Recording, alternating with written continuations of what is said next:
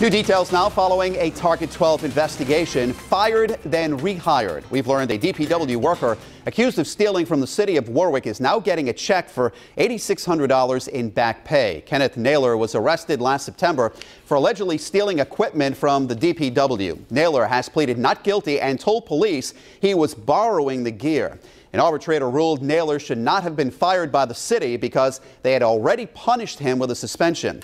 Warwick officials say they made the deductions from the back pay check for money Naylor received while unemployed. His criminal case is still pending.